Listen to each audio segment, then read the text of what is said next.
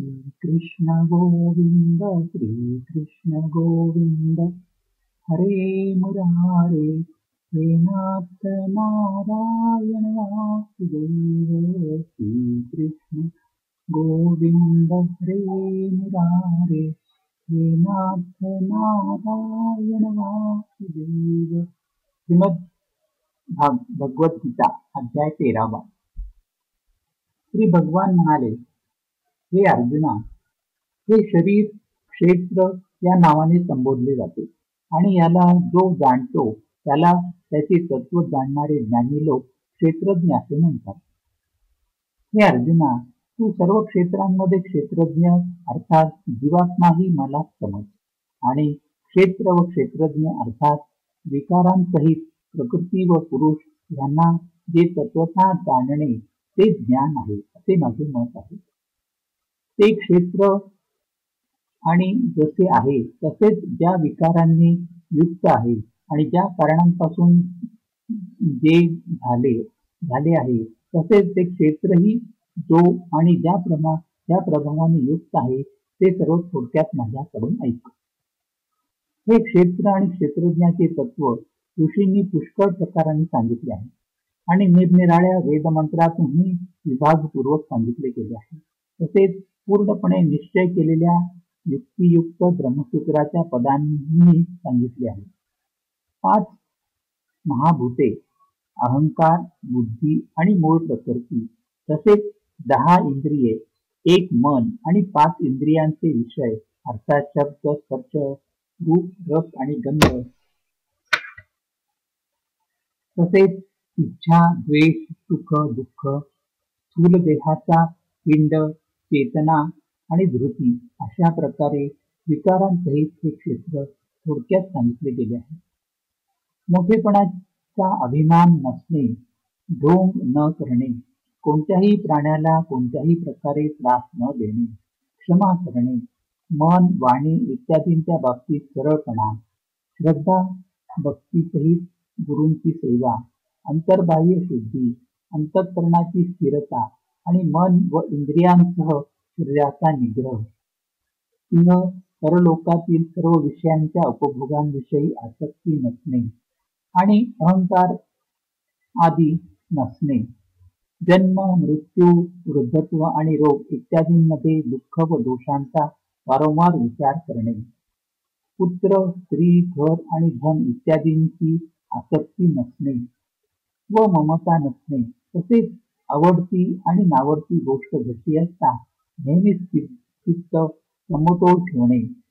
मग परमेश्वरामध्ये अनन्य योगाने अव्यभिचारिणी भक्ती तसेच एकांतात शुद्ध ठिकाणी राहण्याचा प्रभाव आणि विषयासिक्त मनुष्यांच्या सहवासाची आवड नसणे.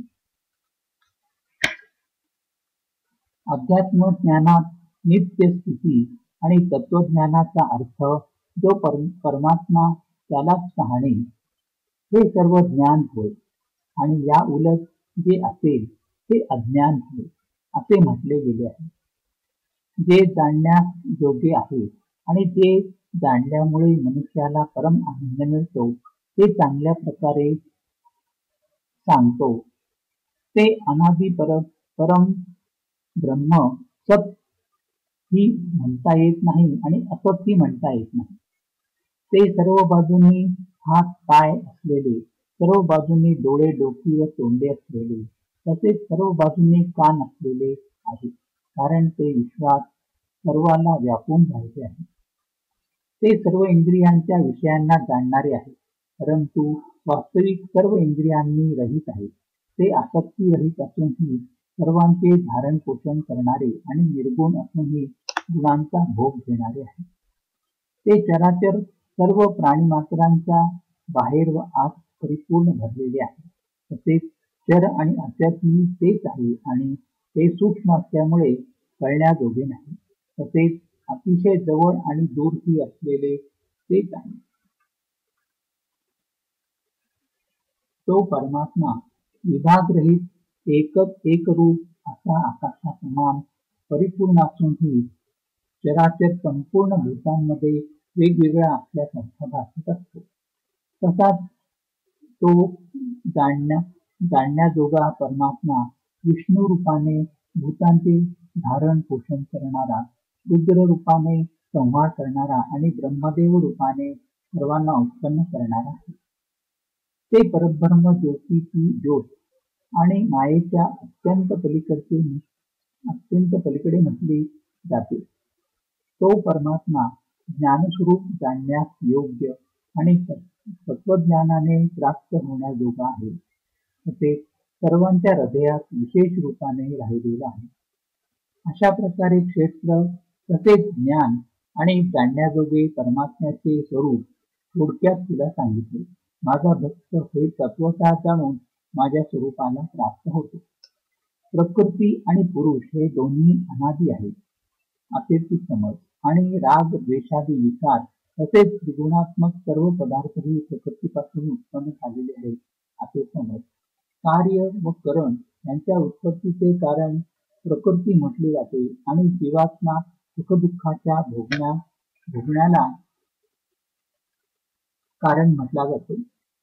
प्रकृतीत राहिलेला पुरुष प्रकृतीपासून उत्पन्न झालेल्या त्रिगुणात्मक पदार्थांना भोगतो. आणि या गुणांनी आणि या गुणांची संगती संगती या जीवात्म्याला बऱ्या वाईट योनीत जन्म मिळवण्यासाठी कारणभूत होते या देहात असलेला आत्मा वास्तविक परमात्माच आहे.